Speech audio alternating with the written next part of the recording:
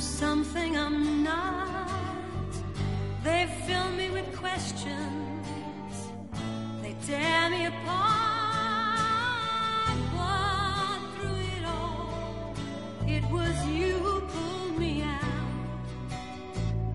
Please don't leave me now. Just give me one.